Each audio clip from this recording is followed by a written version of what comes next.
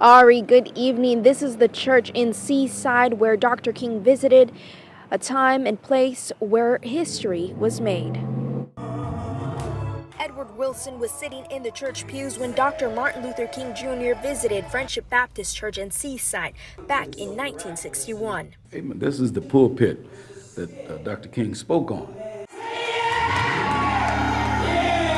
I just remember him coming by a place like Friendship and to deliver a message with us, you know.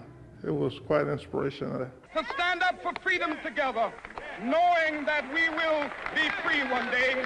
He says years later, Dr. King's message of love and peace still lives in his community, something he is grateful for. I would like to thank him for the legacy that he had and what he stood for, and I hope some of you rub off on us that we will be more better. That same message of justice and equality that Dr. King fought and died for is what awakened a generation of civil rights activists like Mel Mason. What we're hoping today is that people pick up Dr. King's message and continue the struggle to use his example and, and his legacy as a way of steeling ourselves for the ongoing battle for justice in, in, this, in this society.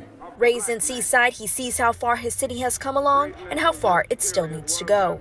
The work is continuous, the work is arduous, the work is hard, and sometimes the work is scary, but we can't give up.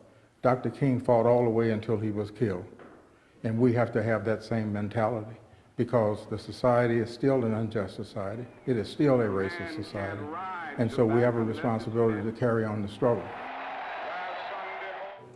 And Leslie, back in the 60s, MLK also spoke at Monterey Peninsula College.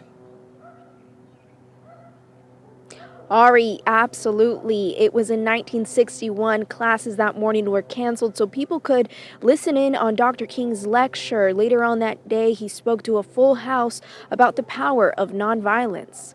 Ari, back to you.